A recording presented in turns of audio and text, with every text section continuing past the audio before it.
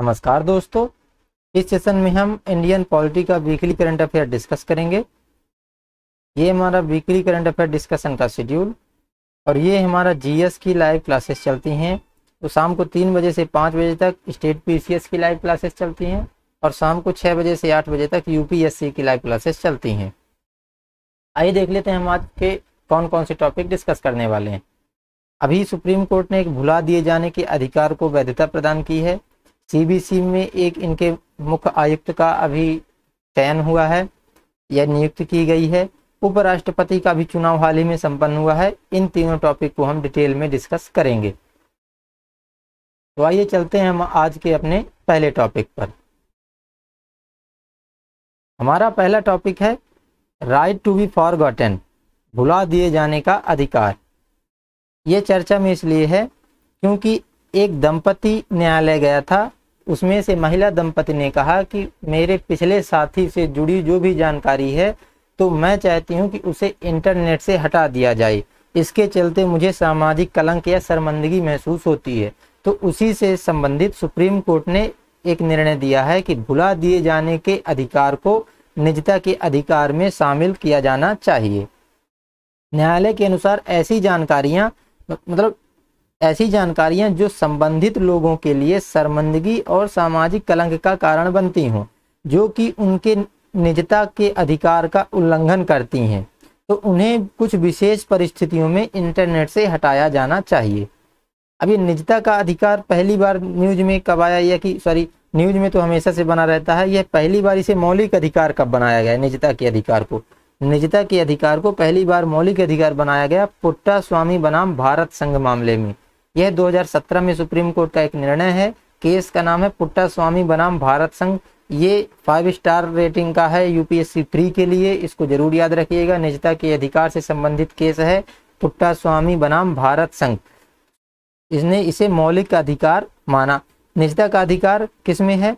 यह आर्टिकल 21 के अंतर्गत प्राण एवं दैहिक स्वतंत्रता के अंतर्गत निजता के अधिकार को शामिल, मौलिक अधिकार में शामिल किया गया है। इसके पहले, इस निर्णय से पहले निजता के अधिकार की क्या पोजीशन थी?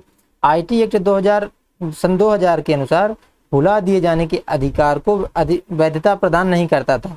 जो भुला दिए जाने का अधिकार, अभी जो सुप्रीम कोर्ट ने निर्णय दिया है, इसके पहले इसको कोई वैधता प्रदान नहीं की गई थी। क्योंकि इसके पहले जो भी ये इंटरनेट से संबंधित एक्ट है इंफॉर्मेशन टेक्नोलॉजी एक्ट तो उसमें भुला दिए जाने के अधिकार को वैधता प्रदान नहीं की गई थी।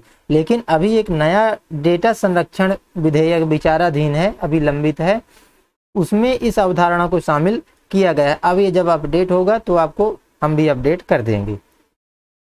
आइए देखते हैं हम आज का अपना दूसरा टॉपिक, केंद्रीय सतर्कता आयोग, सेंट्रल विजिलेंस कमीशन।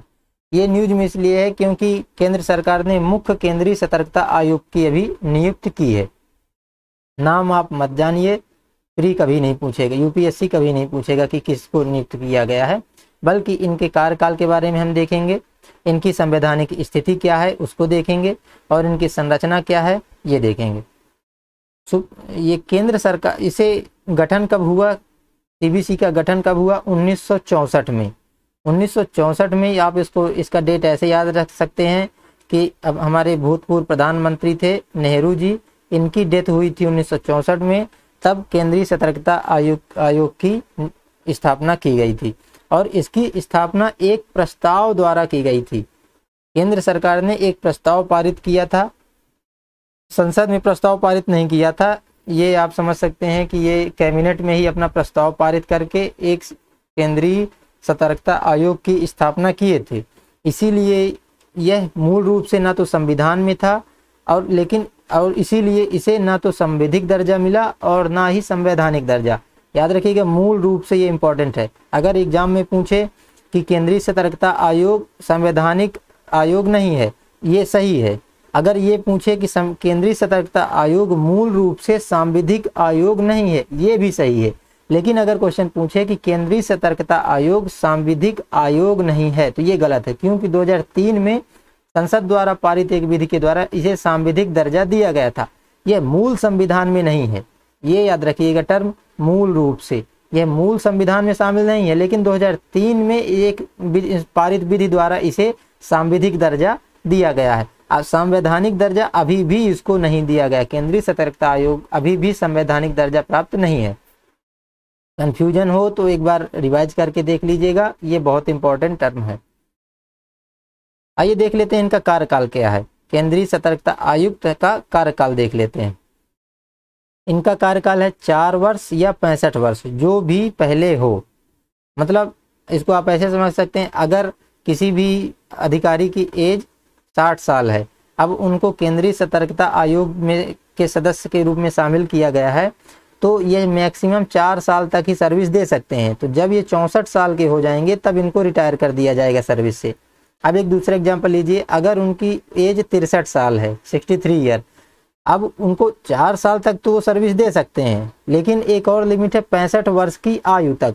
तो ये दो साल बाद ही पैंसठ वर्ष के हो जाएँगे तो जब ये पैंसठ के हो जाएँगे, तब इनको रिटायर कर दिया जाएगा, भले इनका दो साल का कार्यकाल बाकी रह गया हो। आप इसको ऐसे समझिएगा, चार साल और पैंसठ वर्ष। और ये पैंसठ वर्ष के बाद किसी सरकारी पद के नहीं रहेंगे, किसी काम के नहीं रह जाते हैं लोग। सरकारी पद के योग्य नहीं होंगे। किसी भी सरकारी पद के योग्य नहीं होंगे। केंद्रीय सतर्कता आयोग अपने कार्यकाल की समाप्ति के बाद किसी भी सरकारी पद के योग्य नहीं रह जाएगा। आइए देखते हैं, इस आयोग में कितने सदस्य होते हैं। इतने, इस आयोग में टोटल तीन सदस्य होते हैं। उसमें से एक अध्यक्ष होगा और मैक्सिमम दो अन्य सदस्य हो सकते हैं। हो सकता है कि दो ना हो, एक ही सदस्य हो, लेकिन मैक्सिमम दो। ये ध्यान रखिएगा, मैक्सिमम दो है, मिनिमम नहीं। इसके पास शक्तियाँ क्या क्या हैं? इसके पास दीवानी न्यायालय की शक्तियाँ हैं, इसीलिए इसका चरित्र भी न्यायिक है। ये भी इम्पोर्टेंट है, इसका भी एक कथन बना सकता है यूपीएससी प्री में कि केंद्रीय सतर्कता आयोग का चरित्र न्यायिक है तो ये राइट कथन है। अब ये न्यायिक क्यों है? क्योंकि यह केंद्र सरकार और उसके प्राधिकरणों से, प्राधिकरण मतलब सीआईडी सीआईडी सीबीआई या अभी ईडी चर्चा में चल रहा है, किसी दिन ईडी का भी करंट अफेयर डिस्कस करेंगे। तो इनसे किसी भी जानकारी या रिपोर्ट की मांग कर सकता है।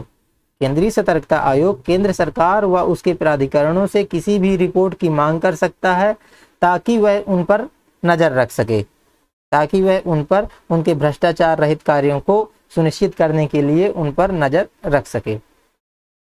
अब देखते हैं इनकी नियुक्ति संबंधी प्रावधान क्या है। इनकी नियुक्ति केंद्रीय सतर्कता आयुक्त जो भी होते हैं, उनकी तीन टोटल होते हैं। इनकी नियुक्ति राष्ट्रपति द्वारा की जाती है। और राष्ट्रपति अपने से नहीं कर देते हैं, अपने मन से कि किसी को भी केंद्रीय सतर्कता आयुक्त बना देंगे। उसके लिए एक तीन सदस्यीय समिति गठित की जाती है। उस समिति में प्रधानमंत्री अध्यक्ष होंगे और लोकसभा, और सदस्य के रूप में लोकसभा का विपक्ष का नेता और केंद्रीय गृह मंत्री, ये दोनों शामिल होते हैं।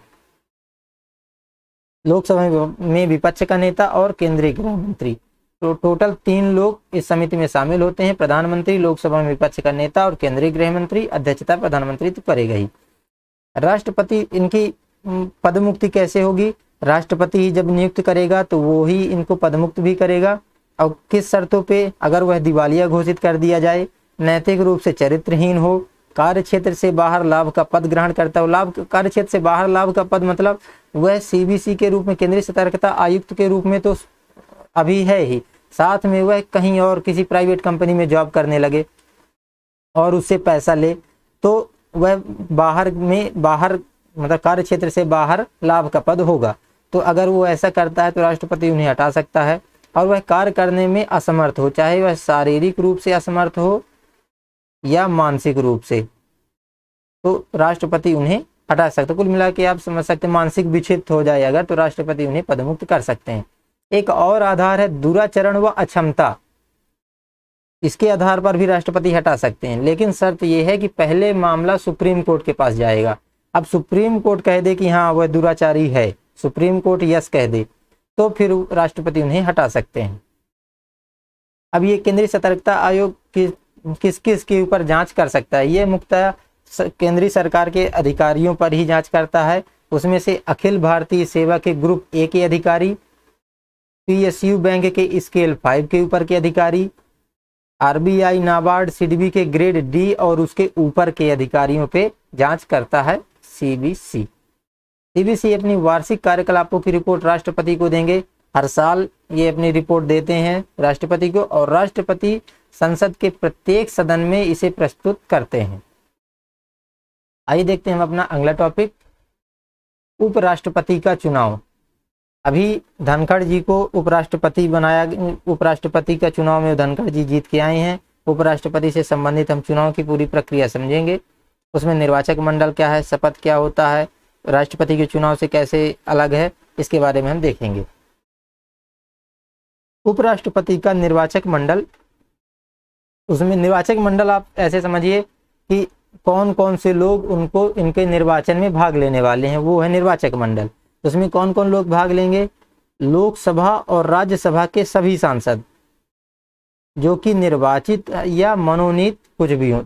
आपको पता है, राज्यसभा में मनोनीत होते हैं बारह सदस्य तो ये भी इनके निर्वाचन में राष्ट्रपति, उपराष्ट्रपति के निर्वाचन में भाग ले सकते हैं। राज, लोकसभा और राज्यसभा के सभी सांसद, चाहे वह निर्वाचित हों या मनोनीत हों, उपराष्ट्रपति के चुनाव में भाग ले सकते हैं और इसमें राज्य विधानसभाओं के सदस्य, राज्य विधानसभाओं के सदस्य इसमें, राज्य विधानसभाओं के सदस्य इसमें भाग नहीं लेते हैं। ये याद रखिएगा। यही राष्ट्रपति के चुनाव से अंतर। राष्ट्रपति में और राष्ट्रपति के चुनाव और उपराष्ट्रपति के चुनाव में बेसिक अंतर निर्वाचक मंडल का ही है। उपराष्ट्रपति के निर्वाचक मंडल में निर्वाचित व मनोनीत दोनों सदस्य भाग ले सकते हैं, लोकसभा और राज्यसभा के। लेकिन राष्ट्रपति के चुनाव में केवल और केवल निर्वाचित सदस्य ही भाग लेते हैं और साथ ही राज्य विधानसभाओं के सदस्य भी भाग लेते हैं, जो कि उपराष्ट्रपति के चुनाव में भाग नहीं लेते हैं। चुनाव प्रक्रिया और बाकी चुनाव प्रक्रिया दोनों की समान होगी। राष्ट्रपति के चुनाव की तरह, उपराष्ट्रपति का चुनाव भी अनुपातिक प्रतिनिधित्व के आधार पर एकल संक्रमण मत द्वारा और गुप्त मतदान द्वारा ही होता है। अब ये अनुपातिक प्रतिनिधित्व का मतलब क्या होता है? आइए इसको समझते हैं। अनुपातिक प्रतिनिधित्व का मतलब होता है कि एक हो गया लोकसभा का एमपी मेंबर ऑफ़ पार्लियामेंट एक हो गया राज्यसभा का मेंबर ऑफ़ पार्लियामेंट अब ये दोनों तो इसमें भाग लेते हैं। अब इनका जो प्रतिनिधित्व है मतलब इनकी वोट की वेटेज क्या है? इनकी वोट की वैल्यू क्या है? ये उपराष्ट्रपति के चुनाव में दोनों की एक मानी जाती है दोनों की इसलिए एक मानी जाती है क्योंकि इसमें राज्य विधानसभाओं के सदस्य तो भाग लेते नहीं हैं कि संख्या अलग अलग हो जाएगी, बहुत सारे लोग हो जाएँगे। तो एक एमपी एक वोट, इसमें ऐसा मान लिया जाता है। तो दोनों का अनुपात, राज्यसभा और विधानसभा, राज्यसभा और लोकसभा, दोनों के मेंबर ऑफ़ पार्लियामेंट का अनुपात लगभग बराबर रखने के लिए एक प्रणाली है, जिसे हम अनुपातिक प्रतिनिधित्व प्रणाली कहते हैं। और ये राष्ट्रपति के चुनाव में अलग हो जाता है, क्योंकि उसमें राज्यसभा के निर्वाचित सदस्य, लोकसभा के निर्वाचित सदस्य, राज्यसभा के निर्वाचित सदस्य और राज्य विधानसभाओं के निर्वाचित सदस्य भाग लेते हैं। अब ये इन तीनों के बीच में हमको इनकी वैल्यू मतलब लगभग बराबर रहे, दोनों की एक एक ही ऐसा अनुपात, ऐसा होता नहीं है 1.1 1.3 ऐसा डिफरेंस आ जाता है, लेकिन तीनों की वैल्यू सेम हो। इसके लिए हम अनुपातिक प्रतिनिधित्व प्रणाली बनाए हैं। अब इसको हम, मैंने एक पिछले वीडियो में राष्ट्रपति के चुनाव में समझाया हुआ है, आप उसको जाके देख सकते हैं। और एकल संक्रमण मत का मतलब क्या होता है कि आप जो भी निर्वाचक मंडल के सदस्य होंगे, उनको एक फॉर्म दिया जाएगा, उसमें वह अपने उस समर्थ जिसको वह समर्थन कर रहे होंगे, उसको पहला प्रेफरेंस देंगे, फिर दूसरा प्रेफरेंस दूसरे कैंडिडेट को देंगे, तीसरा प्रेफरेंस तीसरे कैंडिडेट को देंगे। अब जो भी सबसे, जो कैंडिडेट मान लेते हैं कि कोई डी कैंडिडेट है, वह सबसे कम मत पाया गया तो उसको हटा देंगे, उसके जो भी मत हैं, और इसमें जो दूसरे प्रेफरेंस के लोग हैं, उनको ऐड कर दिया जाएगा पहले प्रेफरेंस में दोनों कैंडिडेट के, जैसे दो कैंडिडेट हैं तो दो फॉर्म दिए गए हैं तो इनको दोनों में ऐड कर दिया जाएगा। अब जिस, जब तक कोई भी एक निश्चित आंकड़ा पार नहीं कर लेगा या कि प्राप्त नहीं कर लेगा, तब तक ये प्रक्रिया चाली रहे, चालू रहेगी। इसे ही एकल संक्रमण मत कहते हैं। और ये गुप्त मतदान होता है। गुप्त मतदान होता है, तब आप, तब कोई भी पार्टी उसमें विप जारी नहीं कर सकती। विप जारी नहीं कर सकती कोई भी पार्टी। सांसद सदस्य अपने मन से किसी को भी वोट देने के लिए फ्री रहते हैं। अब देखते हैं कि ये अपने शपथ में क्या कहते हैं? इनकी शपथ भी इम्पोर्टेंट है। राष्ट्रपति और उपराष्ट्रपति की शपथ भी पूछ सकता है एग्ज़ाम में। हम देखते हैं शपथ में क्या क्या कहते हैं।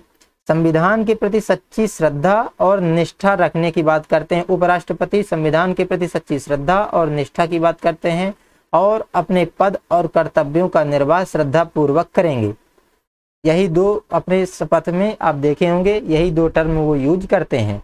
कि मेरा नाम ये है, मैं संविधान के प्रति सच्ची श्रद्धा और निष्ठा की शपथ लेता हूँ, मैं अपने कर्तव्य और पद का निर्वाह श्रद्धा पूर्वक करूँगा, या करूँगी। इनकी शक्तियाँ और कार्य देखते हैं। यह राज्यसभा में सभापति के रूप में काम करेंगे और कार्यवाहक राष्ट्रपति के रूप में अधिकतम छह माह तक कार्य कर सकते हैं। इसको याद रखिएगा, ये इंपॉर्टेंट है, अधिकतम छह माह तक वो कार्य कर सकते हैं उपराष्ट्रपति, राष्ट्र, कार्यवाहक राष्ट्रपति के रूप में अधिकतम छह माह तक ही कार्य कर सकते हैं। अब मान लेते हैं हाइपोथेटिकल कंडीशन लेते हैं कि राष्ट्रपति का नए चुनाव में हो गई देरी। अभी जो चुनाव हुआ है, जिसमें मुर्मू द्रौपदी मुर्मू जी जीती हैं, उसमें मान लेते हैं कि अगर चुनाव देरी हो जाता किसी भी कारण से तो उप तो उनका पद रिक्त होता क्योंकि रामनाथ कोविंद जी का तो कार्यकाल समाप्त हो चुका था तो पद रिक्त होता इस स्थिति में वाइस प्रेसिडेंट को राष्ट्रपति नहीं बना सकते। यह फुल राष्ट्रपति, वाइस प्रेसिडेंट राष्ट्रपति नहीं बन सकते। यह उपराष्ट्रपति ही होंगे, लेकिन यह कार्यकारी राष्ट्रपति के रूप में अधिकतम छह माह तक कार्य कर सकते हैं। वह कार्यवाहक राष्ट्रपति के रूप में तब तक कार्य करता है जब तक नए राष्ट्रपति का चयन नहीं हो जाता। लेकिन ये लिमिट क्या है? छह माह ही है। इसके अंदर अब चुनाव करवाना ही पड़ेगा। लेकिन अमेरिका में क्या है? अमेरिकी उपराष्ट्रपति राष्ट्रपति के पद रिक्त होने पर शेष अवधि के लिए या शेष अवधि तक राष्ट्रपति के लिए बना रह सकता है। मान लेते हैं कि अभी जो बाइडन है, अमेरिका के राष्ट्रपति जो बाइडन और कमला हैरिस हैं उपराष्ट्रपति। अब जो बाइडन मान लेते हैं कि हैं तो बुढ़ाऊ ही निपट गए तो इनका पद रिक्त हो जाएगा। तो अब अगर इनका कार्यकाल दो साल शेष बचा है तो कमला हैरिस दो साल के लिए राष्ट्रपति बनी रह सकती हैं। अगर इनके सीनेट को कोई समस्या नहीं है तो। लेकिन अपने यहाँ ऐसी कंडीशन नहीं है। यह सिर्फ़ छह महीने तक ही राष्ट्रपति बन रहे, बने रह सकते, क्योंकि वाइस प्रेसिडेंट फुल राष्ट्रपति नहीं हो सकते।